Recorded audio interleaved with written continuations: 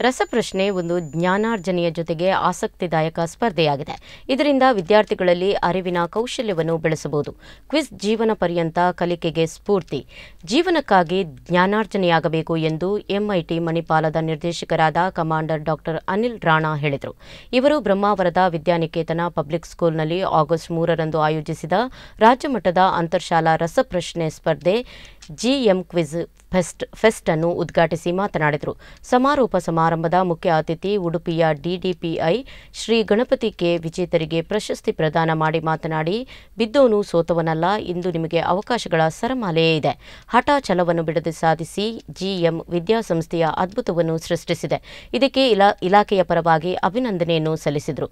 ಶಾಲಾ ಪ್ರಾಂಶುಪಾಲರಾದ ಜಾರ್ಜ್ ಕುರಿಯನ್ ನಮ್ಮ ಮನಸ್ಸು ಭೂತ ವರ್ತಮಾನ ಭವಿಷ್ಯದ ವಿಚಾರಗಳನ್ನು ತಿಳಿದಿರಬೇಕು.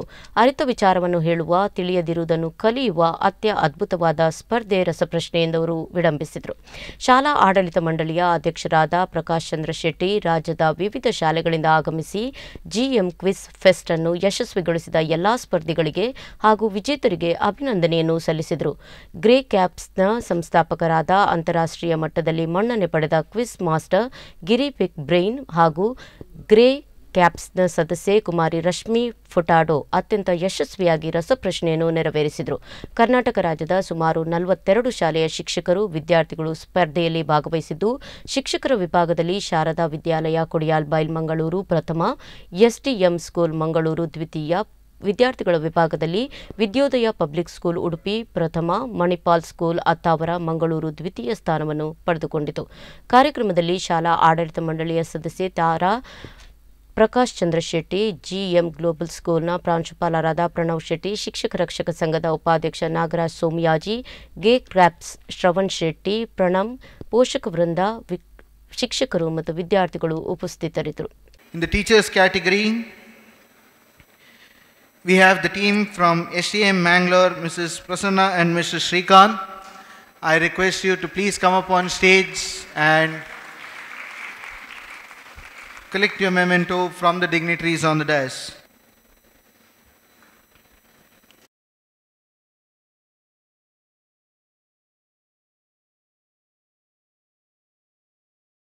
Cash prize of 5000 for the winners.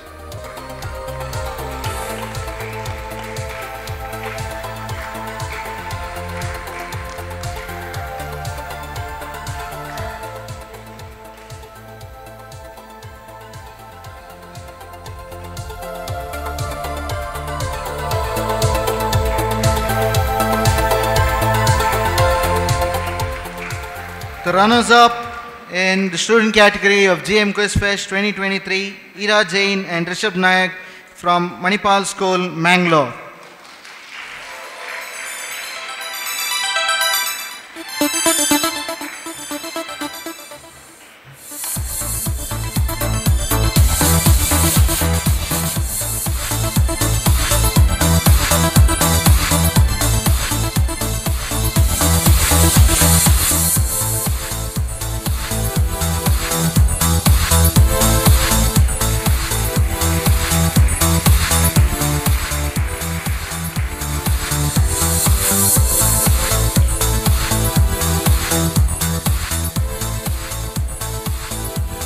A huge round of applause, I want all of you to welcome the winners of GM Quiz Fest 2023 in the students category, Namaya and Jagrut from Vidyodaya Public School.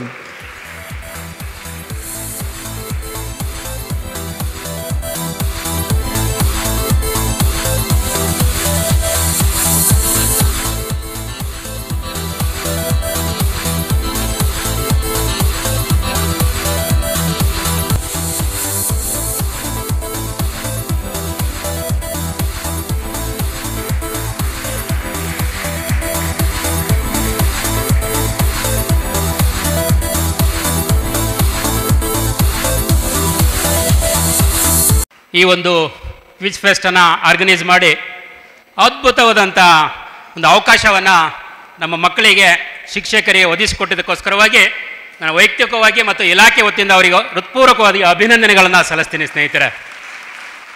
ಏನು ಅತ್ಯುತ್ಯುದ್ಭವವಾಗಿ organise ಮಾಡಿದ್ದಾರೆ ರೀ? ನಿಜ ಕೂಡ fantastic.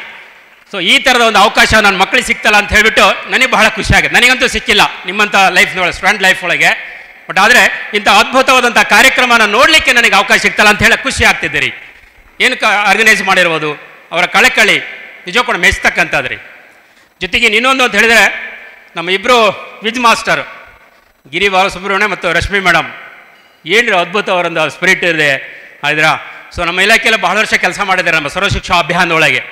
ಇವತ್ತು ಅಂಥ ಒಂದು quiz master ಬಂದ್ಬಿಟ್ಟು so ನಮ್ಮ ಮಕ್ಕಳಿಗೆ ಇವತ್ತು ಕ್ವಿಜ್ ಕಂಡಕ್ಟ್ ಮಾಡ್ತಕ್ಕಂಥದ್ದು, ಇದೊಂದು ಅಪರೂಪ ಕ್ಷಣ ರೀ ಇದು. ನಮ್ಮ ಮಕ್ಕಳು ಇನ್ನೂ ಕೂಡ ಮರೆಯಲಿಕ್ಕೆ ಸಾಧ್ಯ ಇಲ್ಲ ಇದು. ಈ ಅಪರೂಪ ಕ್ಷಣಕ್ಕಾಗಿ ಇವತ್ತು ಬಂದಿದ್ದಾರೆ. ನಿಜ ಕೂಡ thank you very much sir both of you ಇನ್ನೊಂದು ಅಂತ ಹೇಳಿದರೆ congrats to our all achievers ನಿಮ್ಮೆಲ್ಲರೂ ಕೂಡ ಅಭಿನಂದನೆಗಳು. ಒಂದು. ಹಾಗಂತ ಹೇಳಿಬಿಟ್ಟು, ಕೆಲವರು ಸಮ್ ಪಾಯಿಂಟ್ ಒಳಗೆ ಮಿಸ್ ಆಗಿದ್ರಿ. ನೀವು ನಿರಾಶರಾಗಬೇಕಾಗಿಲ್ಲ. ನಿಮಗೆ ಇನ್ನೂ ಅವಕಾಶಗಳಿದೆ. ಹಿರಿಯರು ಒಂದು ಮಾತು ಹೇಳ್ತಾರೆ. ಬಿದ್ದವನು ಸೋತಂಗಲ್ಲ, ಬಿದ್ದವನು ಏದನ ಅಲ್ಲೇ ಬಿದ್ದಿರ್ತಾನಲ್ಲ, ಅವನು ನಿಜವಾದ ಸೋಲು, ಅವನು ಯಾವಾಗ ಎದ್ದು ಅದನ್ನು ಓಡಲಿ ಶುರು ಮಾಡ್ತಾನೋ, ತನ್ನ ಕಲಿಕೆಯಲ್ಲಿ ಮುಂದುವರಿಸ್ತಾನೋ, ಸೊ ಅದು ನಿಜವಾದ ಗೆಲುವು ಅಂತ ಹೇಳ್ತಾರೆ. ಸೊ ಇವತ್ತು ನೋಡಿದರೆ ನಿಮ್ಗೆ ಎಷ್ಟು ಅವಕಾಶ ಸಿಕ್ಕಿದೆ ಇವತ್ತು. ಈ ಅವಕಾಶವನ್ನು ಬೆಳಕ್, ಬೆಳೆಸ್ಕೊಂಡ್ಬಿಟ್ಟು ನೀವು ಮುನ್ನುಗ್ಗಿ, ನೀವು ಕೂಡ ನಿಮ್ಮ ಹಠವನ್ನು ಛಲವನ್ನು ಬಿಡದೆ ಸಾಧಿಸಿ, ಅಂತ ಅವಕಾಶಗಳು ಸಾಕಷ್ಟು ಇದ್ದಾವೆ ಮಕ್ಕಳೇ, ನಿಮಗೆ ಒಂದು ಹೇಳ್ತಕ್ಕಂಥ ಅಂತ ಹೇಳಿದ್ರೆ, ಇವತ್ತು ಅವಕಾಶಗಳ ಸರಮಾಲೆ ಇದೆ, ನಿಮ್ಮ ಮುಂದೆ ಇದೆ. ಆಗ ಮೇಡಮ್ ಹೇಳಿದ್ರು ಅವರು. ಅದು ಸೋಲೋ ಗೆಲ್ಲೋ ಪ್ರಶ್ನೆನೇ ಇಲ್ಲ. If it is fail or the success ಆದರೆ ಪಾರ್ಟಿಫಿಕೇಶನ್ ಇಸ್ ವೆರಿ ಇಂಪಾರ್ಟೆಂಟ್ ಯಾವುದ್ರಾಗಾರ ಹಾಕೊಳ್ಳಿ. ಆ ಸೋಲಿನಲ್ಲೂ ಕೂಡ ಒಂದು ಕಲಿಕೆ ಇದೆ, ಒಂದು ಅರಿವಿದೆ ಸೊ ಅದನ್ನು ಗಳಿಸ್ಲಿಕ್ಕೆ ಒಂದು ಅವಕಾಶ ಸಿಕ್ಕಿಸ್ತಾರೆ ಅದಕ್ಕೋಸ್ಕರವಾಗಿ ಇನ್ನೊಮ್ಮೆ ನನ್ನ ಎಲ್ಲ ಈ ಮಕ್ಕಳ ಒಂದು ಕಲಿಕೆ ಹಿಂದೆ ನಮ್ಮ ಶಿಕ್ಷಕ ಮಿತ್ರರಿದ್ದಾರೆ. ಅವ್ರಿಗೆ ನಿಜವಾದ ಒಂದು ದೊಡ್ಡ ಚಪ್ಪಳೆ ಬರ್ಬೇಕ್ರಿ. ನಿಜವಾದ ಒಂದು ಅವರು, ಅವರ ಶ್ರಮ, ಅವರ ಪರಿಶ್ರಮ. ಕುವೆಂಪು ಅವರ ಮಾತಿದೆ ಅವರು ಮುಂದೆ ಗುರಿ ಇರಬೇಕು, ಹಿಂದೆ ಗುರು ಇರಬೇಕು ಅಂದ್ಕೊಂಡ್ಬಿಟ್ಟು ಈ ಮಕ್ಕಳ ಮುಂದೆ ಒಂದು ಕನಸಿದೆ ಒಂದು ಗುರಿ ಇದೆ. ಅವರ ಪೋಷಕರ ಬೆಂಬಲ ಇದೆ, ಶಿಕ್ಷಕರ ಮಾರ್ಗದರ್ಶನ ಇದೆ. ಇಂಥ ವಿದ್ಯಾನಿಕೇತನನ, ಇಂಥ ಚೇರ್ಮನ್ ಮತ್ತು ಅವರ ಆಡಳಿತ ಮಂಡಳಿಯವರ ಪ್ರೋತ್ಸಾಹ ಇದೆ. ಅದಕ್ಕೋಸ್ಕರವಾಗಿ ನೀವೆಲ್ಲರೂ ಕೂಡ ಅದೃಷ್ಟವಂತರಿ. ನೀವೆಲ್ಲರೂ ಅದೃಷ್ಟವಂತು ಇಂಥ ಮಕ್ಕಳಿಗೆ ಮಾರ್ಗದರ್ಶನ ನೀಡ್ತಕ್ಕಂಥ ನನ್ನ ಎಲ್ಲ ಶಿಕ್ಷಕ ಬಂಧುಗಳಿಗೆ ನಿಮಗೂ ಕೂಡ ಧನ್ಯವಾದಗಳು ಹೇಳ್ತೀನಿ ಸ್ನೇಹಿತರೆ. ಒಂದು ಯೋಚನೆ ಮಾಡೋಣ. ಈ ಮಕ್ಕಳಲ್ಲಿ ಹೊಸತವನ್ನು ಹುಟ್ಟು ಹಾಕಿ ಹೊಸ ಕಲ್ಪನೆಯನ್ನು ಕಟ್ಟಿ, ಸೊ ಅವರಲ್ಲಿ ಒಂದು ಹೊಸ ಉತ್ಸಾಹನ ಹೊಂಬಿಸ್ತಕ್ಕಂಥ ನಮ್ಮ ಶಿಕ್ಷಕರ ಶ್ರಮ ಎಷ್ಟಿರ್ಬೋದು ಹೇಳಿ. ನಿಜ, ಗ್ರೇಟ್. ಪಟ್ ಅಂತ ಹೇಳ್ತಿದ್ರಿ. ಏನು ಅದ್ಭುತವಾದಂಥ ಪ್ರಶ್ನೆಗೆ ಉತ್ತರವನ್ನು ಕೊಡ್ತಿದ್ರು. ಪ್ರಶ್ನೆ ಕೂಡ ಹಾಗೆ ಕೇಳ್ತಿದ್ರು, ಆದ್ರೆ ಆ ಉತ್ತರವನ್ನು ಕೂಡ ತಟ್ ಅಂತ ಹೇಳ್ತಿದ್ರಿ. ಇದು ನಮ್ಮ ಮಕ್ಕಳಿರ್ತಕ್ಕಂಥ ತಾಕತ್ರಿ. ಅಂತ ಹೇಳಿದ್ರೆ ಸೊ ಮಕ್ಕಳ ಒಳಗೆ ಇವತ್ತು ಬುದ್ಧಿವಂತಿಕೆ ಜ್ಞಾನದ ಕೊರತೆ ಇಲ್ಲ, ಅದನ್ನು ಹುಡುಕುವಲ್ಲಿ, ಅದನ್ನು ಪ್ರೋತ್ಸಾಹಿಸುವಲ್ಲಿ ನಾವೆಲ್ಲೋ ಎಡುವಿದೀವಿ ಅಂತ ಅನಿಸ್ತದೆ ಅಂತ ಹೇಳಿದ್ರೆ, ಮಕ್ಕಳಲ್ಲಿ ಅದ್ಭುತವಾದಂಥ ತಾಕತ್ತಿದೆ. ಸೊ ಅದನ್ನು ಗುರುತಿಸಿ ಅವರಿಗೆ ಕೊಟ್ಟಿದ್ದೇ ಆದಲ್ಲಿ, ಆರಾಮಾಗಿ ಉಣಬಡಿಸಿದ್ದೇ ಆದಲ್ಲಿ ಅವರ ಬೆಂತಟ್ಟಿದ್ದೆ ಆದಲ್ಲಿ ನಮ್ಮ ಮಕ್ಕಳು ಹೊಳಿಲಿಕ್ಕೆ ಬೆಳಿಲಿಕ್ಕೆ ಸಾಧ್ಯ ಅನ್ನತಕ್ಕಂಥದ್ದನ್ನ ಇವತ್ತು ಇಲ್ಲಿ ನೀವು ಪ್ರೂವ್ ಮಾಡಿದಿರಿ ಅದಕ್ಕೆ ನಮ್ಮ ಶಿಕ್ಷಕ ಬೆಂಬ ಅವರ ಒಂದು ಸಪೋರ್ಟ್ ಇದೆಯಲ್ಲ ಅವರ ಮಾರ್ಗದರ್ಶನ ಇದೆಯಲ್ಲ ನಿಜ ಕೂಡ ಇದು ಶ್ಲಾಘನೀಯ ರೀ. ಇದು ನಿಜ ಕೂಡ ಅದ್ಭುತವಾದಂಥ ಕೆಲಸ. It gives me great honour to be here for the inauguration of the quiz competition and it took me years back when I was a kid, and we used to have a Born Vita quiz contest on the radio. And the students would be surprised really what, what who listens to quiz on radio. But yes, those were the days. And uh, we used to have Amit Sayani, I think that he was the quiz master. And it was an amazing quiz. Me as a kid, I was always glued to the radio, apart from other programs, particularly for this particular program. And then we had a similar thing on the TV also. I think Siddharth Basu was, was uh, the uh, quiz host then. And uh, to me, it was important not because of any other reason, because it was, uh, one, it was entertaining. Second, I used to be very encouraged when I could hit on the right answers.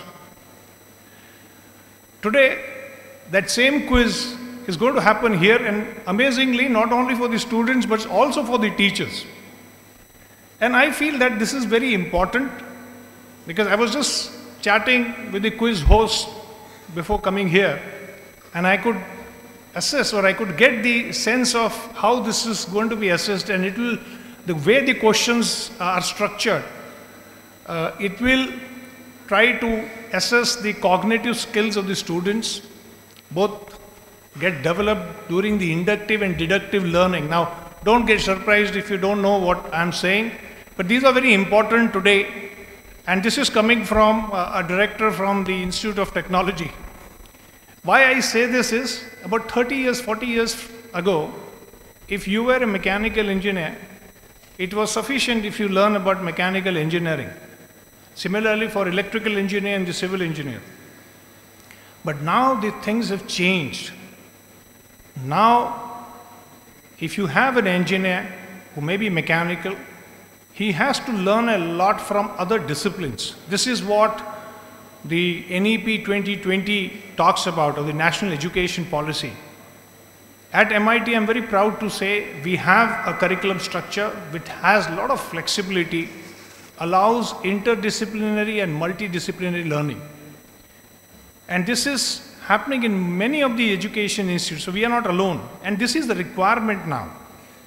The requirement is that you could be very good at your core engineering program, but because all these fields are converging towards improving productivity, optimization of resources, and therefore it's not good enough if you learn only about one mechanical engineering. You have to know what is machine learning, artificial intelligence, how that can be applied to your domain to improve productivity or to improve performance. India is progressing by leaps and bounds in various areas of technology. I'm sure you're aware.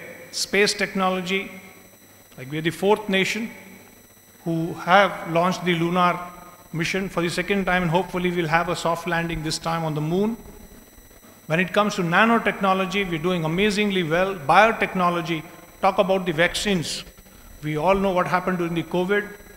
We were one of those few countries which took the great uh, amount of both entrepreneurship as well as enterprise put together to develop vaccines and then distribute and get a large population vaccinated in record time. This is an amazing feat. Today, when we talk about UPI payment, the digital transaction that happens, it's amazing to see when the students come to MIT from their homes in auto rickshaws, and all they have to do is take out their mobile and just scan a QR code. That's it, the payment gets done.